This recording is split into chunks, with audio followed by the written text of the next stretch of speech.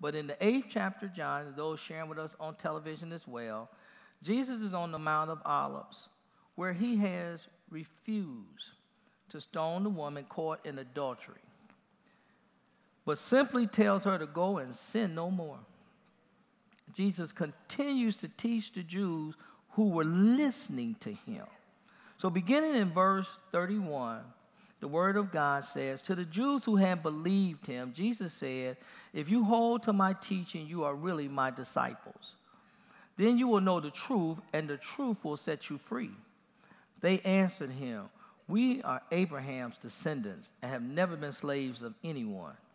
How can you say that we shall be set free? Jesus replied, I tell you the truth, everyone who sins is a slave to sin. Now, a slave has no permanent place in the family, but a son belongs to it forever.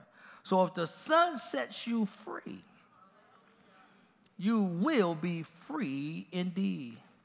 I know you are Abraham's descendants, yet you are ready to kill me because you have no room for my word. I'm telling you what I have seen in the Father's presence, and you do what you have heard from your father. Abraham is our father, they answered. If you were Abraham's children, said Jesus, then you would do the things Abraham did. As it is, you are determined to kill me, a man who has told you the truth that I heard from God. Abraham did not do such things. You are doing the thing your own father does. We are not illegitimate children, they protested. The only father we have is God Himself. Jesus said to them, If God were your father, you would love me. For I came from God and now am here. I have not come on my own, but He sent me. Why is my language not clear to you? Because you are unable to hear what I say.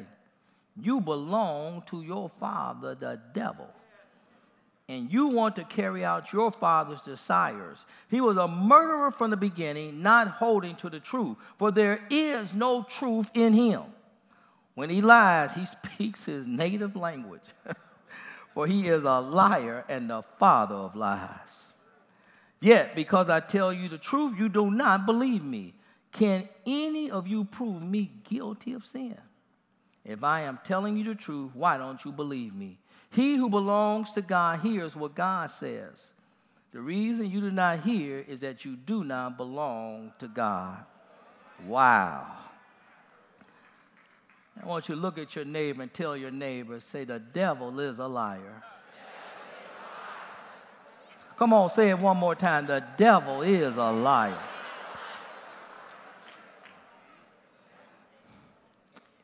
My text verses uh, actually describe a paternity fight between Jesus and the Jews who were superficially believing in him because he had stated to the Jews who had believed him.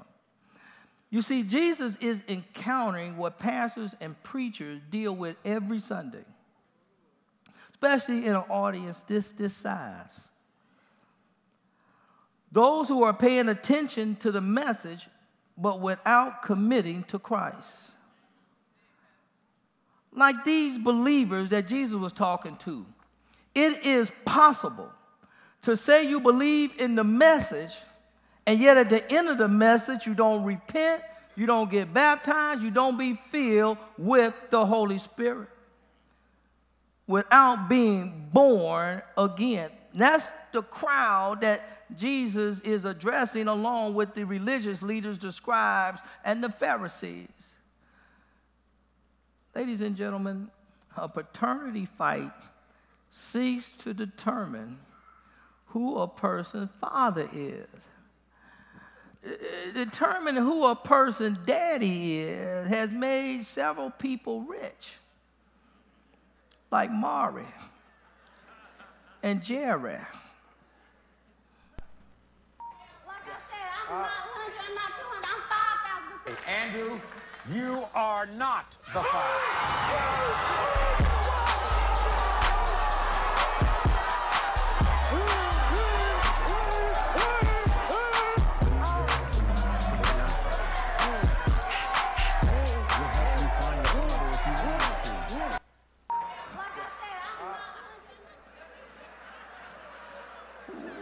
Y'all watch that stuff?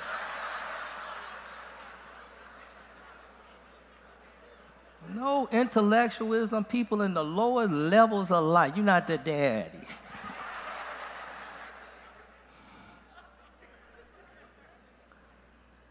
A lot of name calling going on in this eighth chapter. A lot of name calling. Jesus identifies himself with his Father in heaven. But Jesus identifies not everyone, but the Jews listening to him with their father, the devil. The Jews then told Jesus his daddy was not the heavenly father, but that he was a Samaritan. I mean, we got some serious signification going on up in here, as we say. They signify. You see, you are Samaritan, Jesus, which was the hated half breed cousins of the Jews. And not only that, they went so far in John 8, verses 48 and 49, they went so far as to say, Well, Jesus, you demon possessed. They said, You may be the one going out casting out demons, but you demon possessed too. Nature is determined by birth, and birth is determined by paternity. If God is your father, then you have God's holy nature living on the inside of you. That's why the Bible says in John 3 and 3 so clearly, Jesus says to Nicodemus, said, You must be born again of the water and of the Spirit. Peter puts it this way in 2 Peter chapter 1, talking about this divine nature and God living on the inside in verses 3 and 4. He says, His divine power has given us everything we need for life and godliness through our knowledge of Him who called us, the believers. Hallelujah. He called you by His own glory and goodness. Through these, He has given us His very great and precious promises, so that through them you may participate in the divine nature and escape the corruption in the world caused by evil desires. You see, if the devil is a person's father, then that person shares in his evil nature. Jesus identifies several things that made these people the children of the devil. Number one, he said, You don't love God. Said that in, in verse number 42. Said, If God were your father, you would love me because I came from God. The second thing, Jesus said, well, well, you don't even understand what I'm teaching. If you understand God, you then understand Jesus, you understand his word. The third thing, he said, they rejected the truth and they tried to kill Jesus because he spoke the truth. In verse number 45, Jesus says, Yet because I tell you the truth, you do not believe me. The Jews tried to argue that since they claimed to be Abraham's children, then God must be their father. Jesus refutes that claim as well in verse number 39 when they declare Abraham is their father. Jesus says, if you were Abraham's children, then you would do the things that Abraham did. As it is, you determined to kill me, a man who has told you the truth that I heard from God. Abraham didn't do that. You are doing the things your own father does.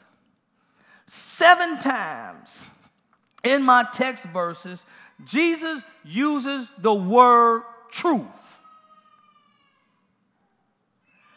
Even though the Jews rejected Jesus, he told them the truth anyway.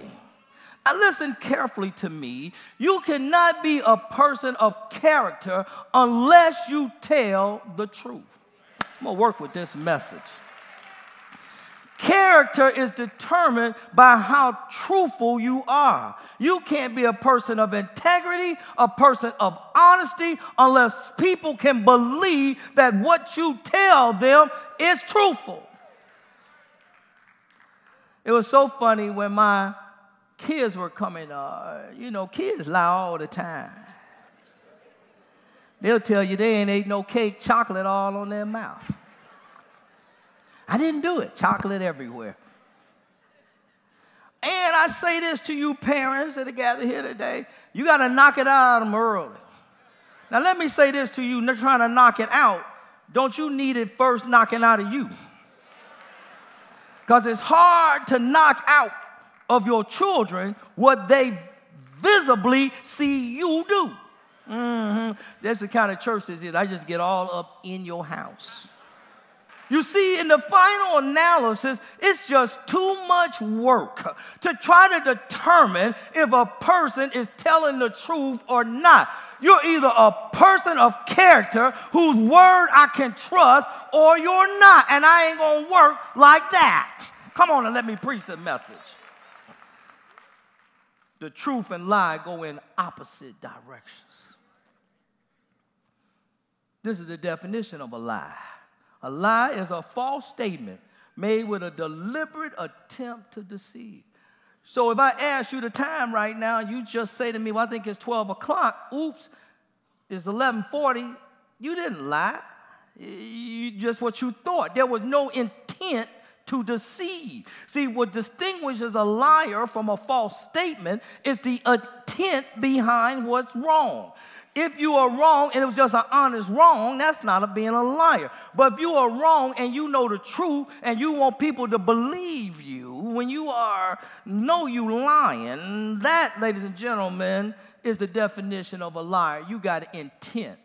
Let me say this as a pastor, because see, sometimes y'all overrate my office. See, I'm the man of God. So people think when everybody come in my office, they tell the truth. Not so. People lie up in my office all the time. But see, God is good. My friend Dan will tell you, God know how to save a sinner. I wasn't the father of lies, but I was related. So I knew about lying. And know what the scripture said. The scripture says that we should be wise as the serpent, but innocent as the dove. So believers are not supposed to be just a bunch of naive people.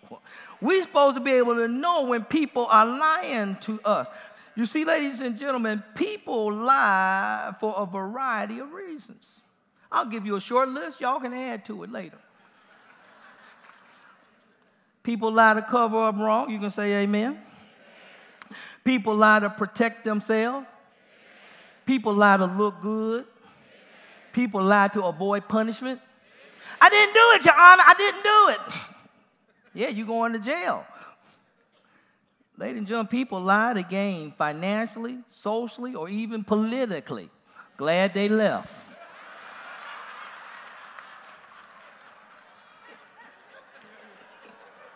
Well, I was going to say it anyway. it was coming. I was just going to try to look over this way like this kind of. uh, politicians lie on each other.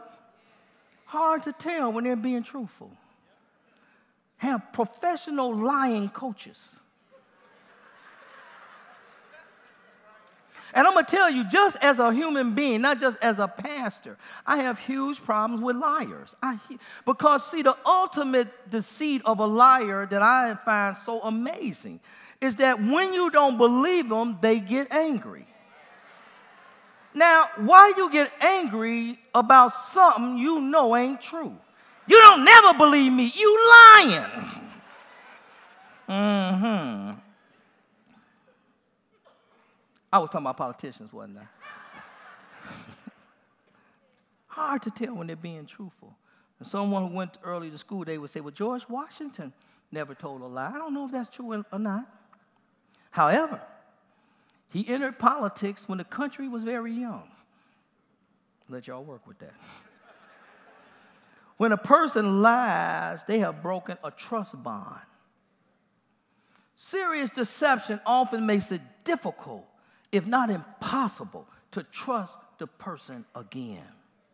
You see, ladies and gentlemen, the further you stretch the truth, that's what people do. It starts off like this, and then we start stretching it and stretching it and stretching it and stretching and stretching. And if you keep stretching it, it's gonna break. See, I endured pain for y'all just then because you know that hurt. Jesus declares the devil to be a liar. There is no truth in the devil. It is in his nature, said Jesus, and in his work to lie and deceive. Jesus even goes so far to declare the devil to be the father of lies. Now that you can't get no lower than being the father of lies. Which tells us something in John 8 and 44. When Jesus calls him the father of lies, says he was a murderer from the beginning, truth didn't abide in him. We learn something about lying. You see, lying is not just about something you do, lying is ultimately about something you become. A liar is not just because they just lie, they become a person who lying is a way of life. Hmm. Maybe some conviction is going on around here. It's quiet. The old time saints used to call people who lied a lying wonder. Say, you a lying wonder. I never knew understood the wonder part, but in Revelation chapter 21, verse 7 and 8, see, we always talk about just terrible people all end up in hell, but I want you to know, know what the Bible says. If you believe the Bible, it says, He who overcomes in verse 7 will, uh, will inherit all this. I'll be his God, he'll be my son. But no, the cowardly, the unbelieving, the vile, the murderers, the sexual immoral, those who practice magic arts, the idolaters, and there it is, last but not least, all liars will have their place in the fiery lake of burning sulfur. This is the second death. As the father of lies, the devil is the originator of falsehood. The first lie in Scripture is found in Isaiah chapter 14, verses 12 to 15. See, some people think the first lie he told was to Adam and Eve. That's wrong. That's the second lie I'll be in in a moment. The first lie that the devil tells, which is in Isaiah 14, again in verse 12 to 15, is the first lie is he tells to himself. Hmm. Note what he says what the Holy Spirit says. How you have fallen from heaven, O morning star, son of the dawn. You have been cast down to the earth. You who once laid low the nations. You said in your heart, I will ascend to heaven. I will raise my throne above the stars of God. I will sit enthroned on the mount of assembly, on the utter heights of the mountain. I will ascend above the tops of the clouds. I will make myself like the Most High. But you are brought down to the grave to the depths of the pit. So, the first lie that Satan tells himself is that he can rise above his creator. That the creator who created him that he will ascend and make his throne be higher than that of the one who created him. And the bible says he was cast down. It's a rough thing when we lie to ourselves. The worst lie you can ever make is the lie you tell yourself that's necessary to make you feel good about yourself. The second lie he told to Adam and Eve in Genesis chapter 3, two key lies in chapter 3. He says, number one, you don't have to obey God. God told you that you could not eat from the tree of the knowledge of good and evil. I will never understand why they didn't choose to eat from the tree of life. They deliberately chose not to eat from that tree. They chose to eat from the tree that God told them not to. And the Bible makes it clear the devil told them, even though God told you you can't eat from it, nothing's going to happen. In the Hebrew, it is in the emphatic. It said, You shall not surely die. Not only that, he tells them you can live without God directing your life. Did you note that? Because the Bible tells us in that Genesis chapter 3 and verse number 5 God knows that when you eat of it, your eyes will be open. And you will what? Be like God, knowing good and knowing evil.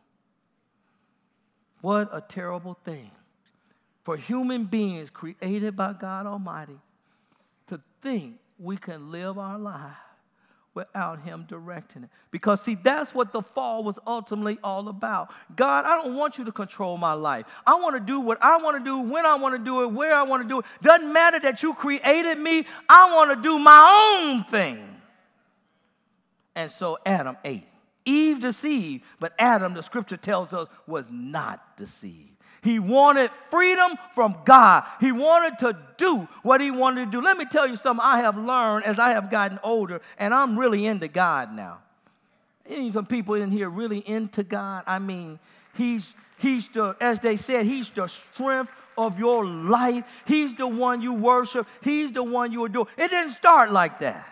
When I first got saved, I was so scared of being saved, so scared of being baptized. But let me tell you something, ladies and gentlemen. When you get into God, and when God really gets a hold of your life, God shows you life from a perspective that you never understood. And I wish I had some people now who would tell me, you just wish you had got baptized earlier. You just wish you had gave your life to him earlier. Because when God is out directing your life, it is then and only then that you can make sense out of life and that life become worth living. Do I have some witnesses on the first floor? Do I have some witnesses in the balcony? God wants to direct your life, not so He can be controlling over your life. He wants you to have the best life that He intended for you to have. And you can't have it if He's not in it. Hallelujah. You see, ladies and gentlemen, by believing those lies, Adam and Eve brought physical and spiritual death to all mankind.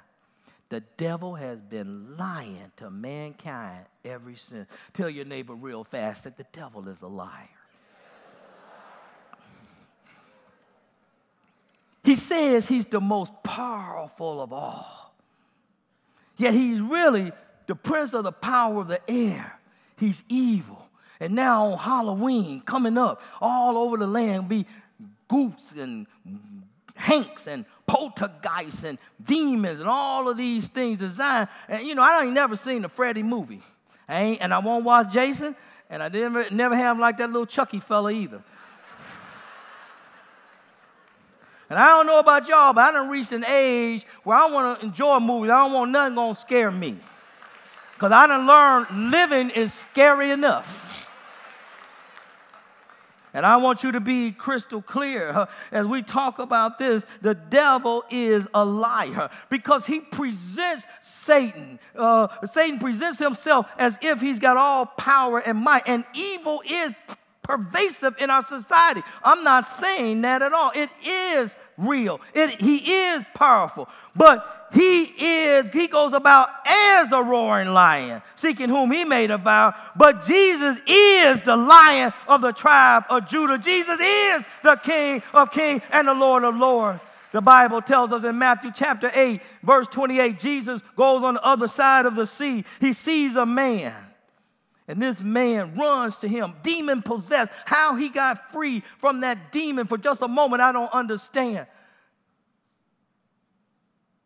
And the demons, he got so many they call legion. And you would think with so many demons, they would take Jesus out. But that's not what happened. They wanted to know Jesus, have you come to torment us before our time? And Jesus went and cast those demons into a, a herd of pigs, and they were destroyed. Because you see, the Bible is true. In Psalm 62 and 11, the scripture says, I have heard it spoken once, I have heard it spoken twice. Power belongs to God. Let your neighbor again say, The devil is a liar. Let me work with this. I'll only be before you just a few more minutes. The devil says to people that the things of this world can satisfy you. That's one of his biggest lies. That if you can just have more money, more wealth, more cars, more house, more men, more women, more men and women, that you can be happy.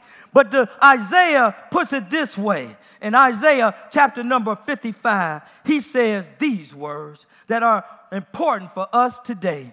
He says in 55 verse 2 Why do you spend money on that which is not bread? Why do you labor on that which what, class, church, does not satisfy? Listen, listen to me and eat what is good, and your soul will delight in the riches of fare. Another lie. I said the devil is a and this is huge, and it is a part of your responsive reading today. The devil says, when you need God, when you going through, Satan whispers in your ear, Where is your God? Oh, we're going to work with that one. Because I know too much of what y'all are going through. Any broke people up in the house? Any sick people up in the house? Anybody that lost somebody reason, Anybody that thought they had a job and they didn't get it? Anybody who thought they were going to uh, make it through their marriage and it's not working out? The devil says to you, in the midst of your lowest times, he whispers. Did you see that in that Psalm 42 and 3? Did you look at your responsive reading? Note how it deals with it. I hope I'm preaching to somebody today. Look what David says My tears have been my food day and night. Anybody know what it means to cry day and night? I'm trying to touch somebody. He says, My tears have been my food, while men say to me, under the influence of Satan, all day, Where is your God? I want you to know, you see it again. Sometimes you get this downcast. David said, Why are you downcast, O my soul? Why so disturbed within me? Put your hope in God. I will yet praise Him, my Savior and my God. Let me just take a minute and do a praise break in the house. For some- We hope that you have been blessed by this broadcast, and we look forward to you worshiping with us on Sunday mornings at our 10:15 a.m. service. Also, we invite you to join us for our Tuesday night Bible study at 7:30 p.m. and lunch on the Word on Wednesdays at noon. Please visit us online at www.victoryapostolicchurch.org.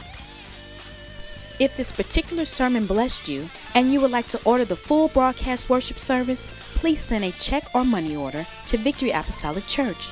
We would gladly accept your credit card purchase Monday through Friday between the hours of 9 a.m. and 4:30 p.m. Please include the broadcast title and number along with your selected choice of media, CD or DVD.